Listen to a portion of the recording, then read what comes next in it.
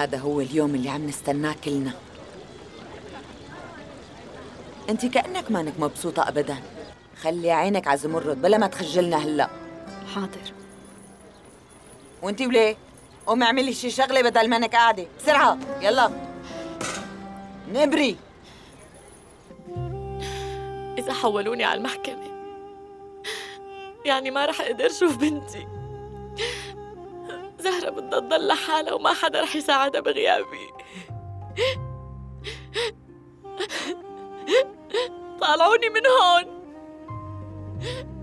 طالعوني بدي أشوف بنتي أنا ما بدي ضل هون يا ربي دخيلك شو أعمل؟ ساعدني وأعطيني القوة لأتحمل مشان بنتي يا رب.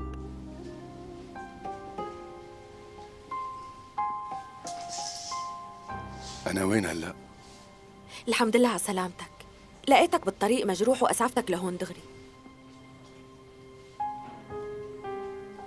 إيه تذكرت؟ لوين؟ لو سمحت اهدى وخليك مرتاح. لأنه بصراحة وإنت بهالحالة ما فيك تروح لمكان. الأحسن إنه تضل بالمستشفى كم يوم. أنا كنت عم استناك لتصحى مشان أحكي مع الشرطة لأنه المفروض إنك تقدم شكوى. ما بدي.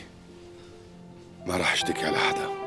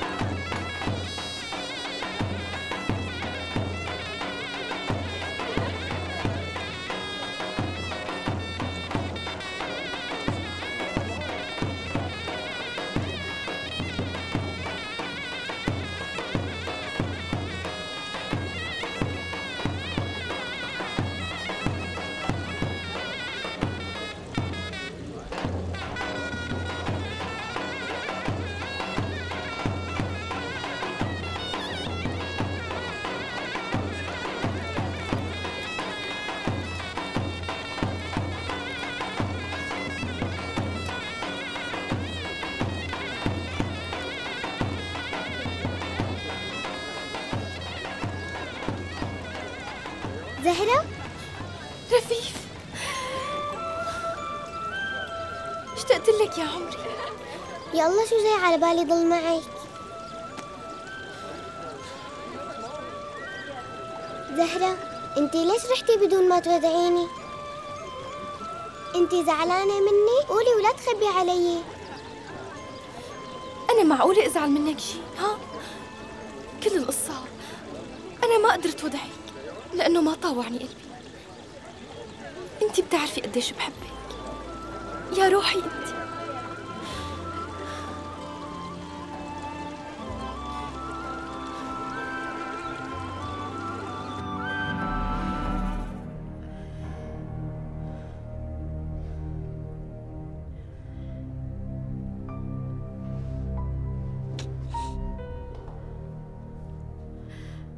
في حدا عم يسمعني؟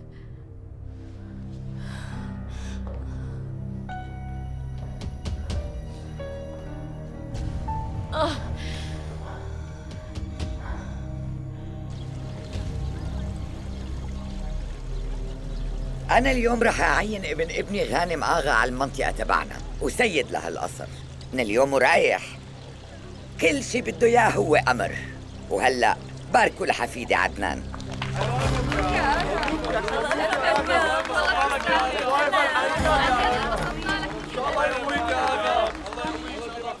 مو بس لأنه حفيدي.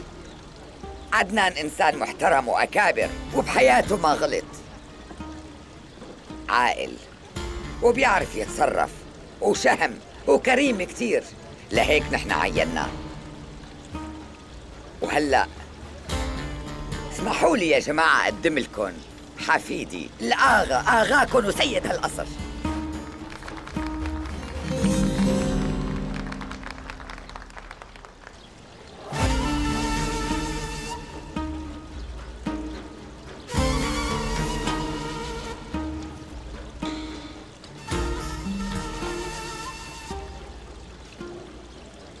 لك فاطمة. انت تخليتي عن ابنك بس لتشوفي أغا. ها؟ هيك كان بدك إياه يصير؟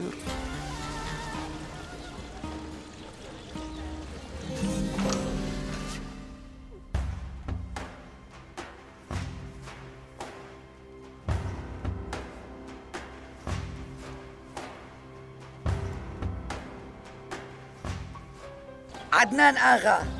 رح يكون إلكم كمان. رح يخدم كل إنسان مقرب من عيلتنا.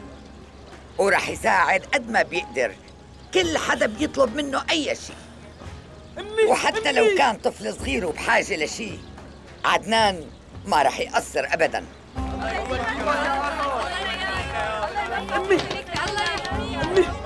افتحي الباب. ابني امي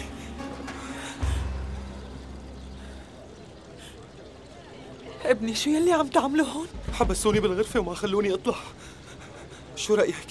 وهلأ اسمحوا لي حسب الأعراف والتقاليد المعتمدة بعيلتنا وبكل فخر كمان أنه أقدم خاتم الأغوية لآغانا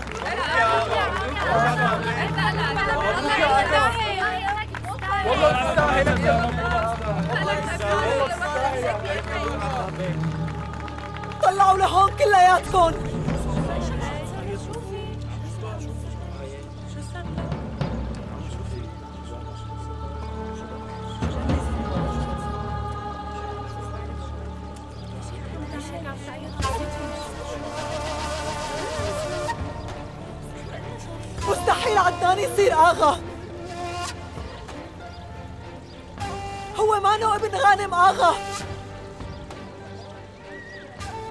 عدنان بيكون ابننا لفاطمة